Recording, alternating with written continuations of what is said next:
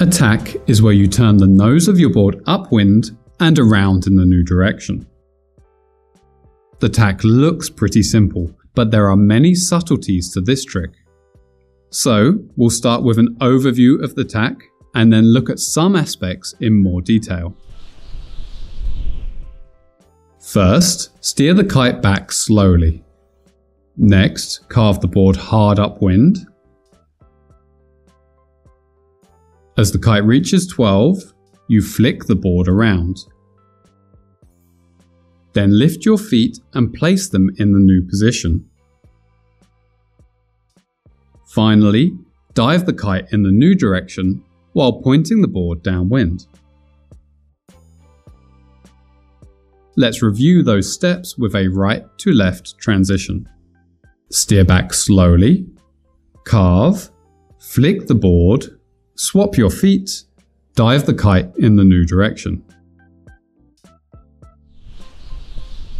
Let's look in more detail at the footwork used during the tack.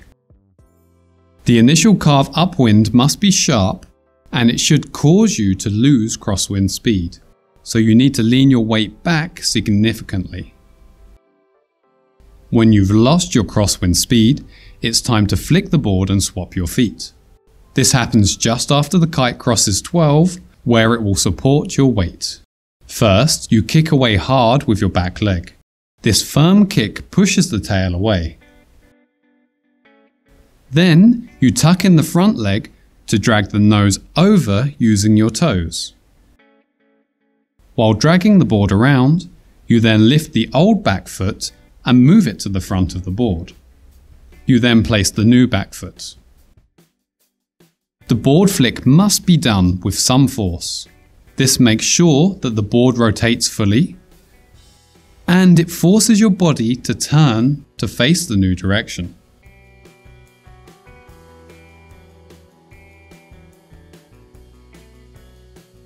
If you don't flick the board firmly, either the board won't rotate,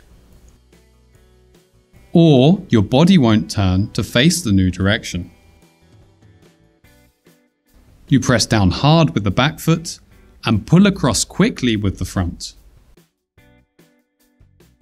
Be careful not to press down with the front foot, as this will sink the nose and make it harder to rotate the board.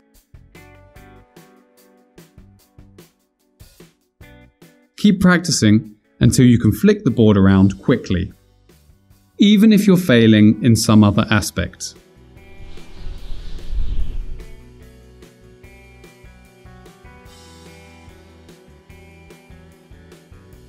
Each stage of the tack has a corresponding kite position. The carve upwind must happen before the kite reaches 12. As the kite crosses 12, that's when you must flick the board and lift your feet. Then the kite should have just passed 12 as you replace your feet on the board. It is essential that the kite is crossing 12 during the flick and swap. Here, for example, the kiter attempts the flick before the kite reaches 12. So, the kite drags them away from the board in the original direction. Here, the kiter tries the flick after the kite passes 12, so the kite drags them away from the board in the new direction. In this next example, the kite is simply steered up too quickly, lofting the kiter.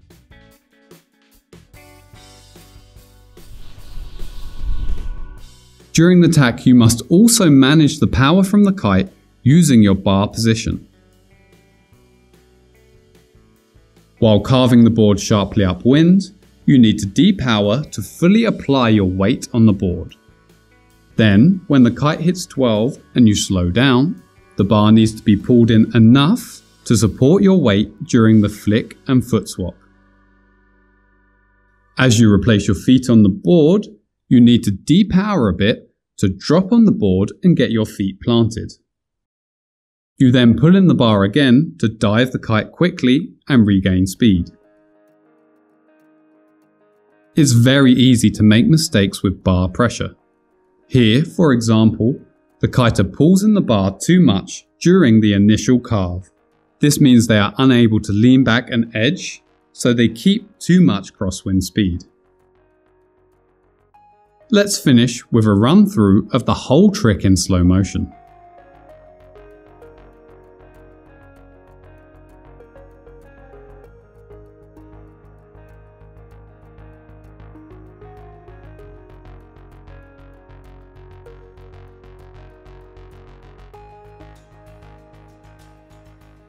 Thanks for watching. For more tutorials, subscribe and access our playlists.